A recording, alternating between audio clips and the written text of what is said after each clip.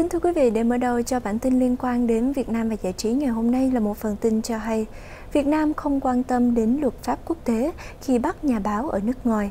Tổ chức phóng viên không biên giới với tắt là RSF hôm ngày 18 tháng 4 năm 2019 đã công bố phúc trình về tự do báo chí trong năm 2019.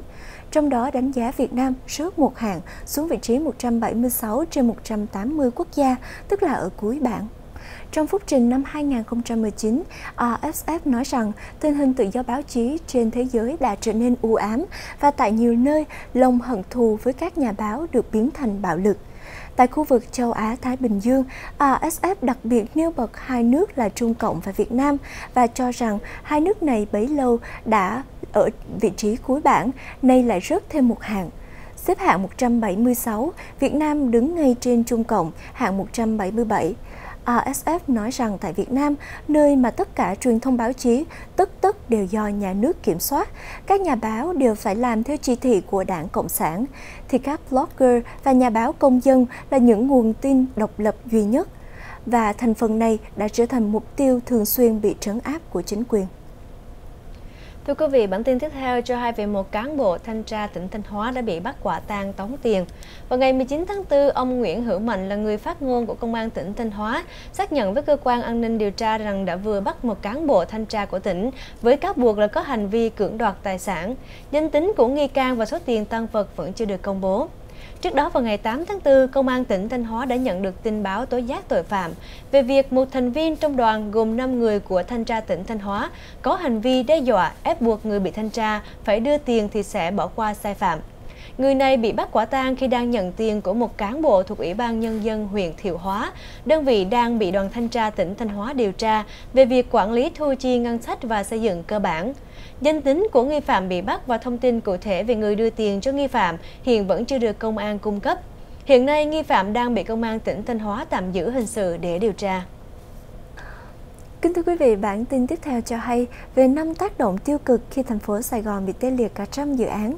Vào ngày 19 tháng 4, Hiệp hội Bất động sản thành phố Sài Gòn viết tắt là Horia cho biết, sau 3 tháng đầu năm 2019, các nhà phát triển bất động sản càng lo ngại trước tình trạng nhiều dự án ách tắc vì không được xem xét giải quyết kịp thời có khoảng 100 dự án đang bị đóng băng tiến độ vì rơi vào vòng luẩn quẩn là ra soát, kiểm tra pháp lý kéo dài khiến không thể triển khai. Hiệp hội đánh giá có 5 tác động tiêu cực từ việc này. Thứ nhất, số dự án giảm đã dẫn đến lượng nhà ở đưa ra thị trường càng ít hơn. Thứ hai, cả trăm dự án bị tê liệt làm giảm cơ hội tạo lập nhà ở của số đông người có thu nhập thấp và trung bình, tác động đến việc bảo đảm an sinh xã hội về nhà ở. Thứ ba, nguồn thu ngân sách của nhà nước từ bất động sản tụt dốc. Thứ tư, theo đánh giá của Hore, quá trình rà soát thanh tra càng kéo dài thì càng bất lợi cho doanh nghiệp vì chi phí vốn lãi vay ngân hàng tăng và mất cơ hội kinh doanh. Thứ năm, môi trường kinh doanh của thành phố Sài Gòn bị suy giảm tính minh bạch, khó đoán định và có thể làm tăng tính rủi ro cho doanh nghiệp do đã có nhiều dự án bị xem xét và xử lý lại bác sĩ phó khoa nhận hối lộ để làm bệnh án tâm thần cho người phạm pháp. Thưa quý vị, vào ngày 19 tháng 4, tòa án tại Hà Nội đã đưa bị cáo là Thân Thái Phong, là bác sĩ là phó trưởng khoa tâm thần của người cao tuổi Bệnh viện Tâm thần Trung ương, ra xét xử về tội nhận hối lộ. Cùng bị đưa ra xét xử trong vụ án này còn có người tên Sơn là kỹ thuật viên trưởng khoa dinh dưỡng bệnh viện và Tùng ở quận Hai Bà Trưng, Hà Nội.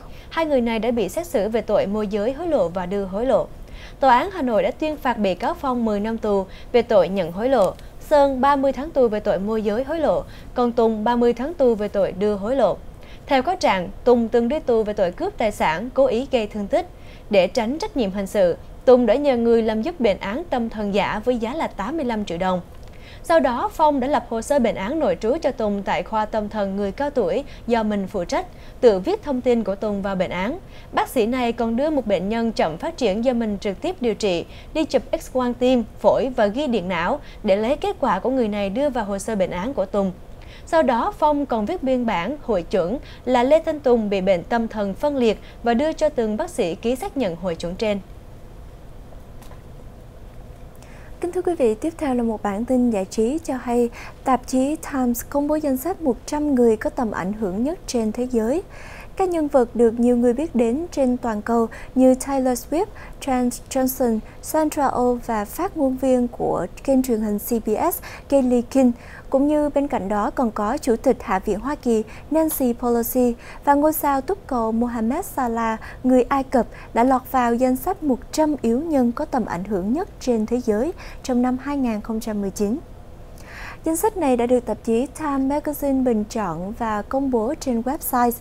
Cùng được xướng tên trong danh sách này còn có Tổng thống Hoa Kỳ Donald Trump, cựu đệ nhất phu nhân Michelle Obama và công tố viên đặc biệt của Tòa Bạch Ốc Robert Mueller là người đã đứng đầu cuộc điều tra về việc ông Donald Trump đi đêm với Nga.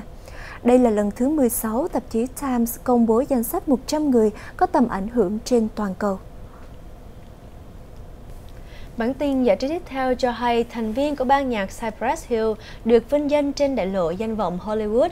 Thưa quý vị, các thành viên trong ban nhạc hip hop huyền thoại là Cypress Hill đã vừa được lưu danh lên một ngôi sao trên đại lộ danh vọng Hollywood vào ngày thứ Năm ngày 18 tháng 4. Buổi lễ vinh danh đã diễn ra với sự góp mặt của các nghệ sĩ B-Real, Sandok, DJ Mux và Eric Poco Korea trước sự theo dõi của người hâm mộ đứng tập trung ở bên đường. Cypress Hill trước đây từng được mệnh danh là một trong những ban nhạc Latin có tầm ảnh hưởng nhất trong lịch sử của làng hip hop. Họ đã bán hơn 18 triệu album trên toàn thế giới, đồng thời từng được đề cử giải Grammy. Nam diễn viên George Lopez và rapper Exhibit cũng đã đến chúc mừng cho đồng nghiệp của mình. Bản tin vừa rồi cũng đã kết thúc cho phần tin buổi tối cho ngày hôm nay cùng với Gia Ân và Hoài Sa. Chúng tôi chân thành cảm ơn sự quan tâm theo dõi của quý vị và xin hẹn gặp lại ở những bản tin kế tiếp. Thân ái, kính chào quý vị.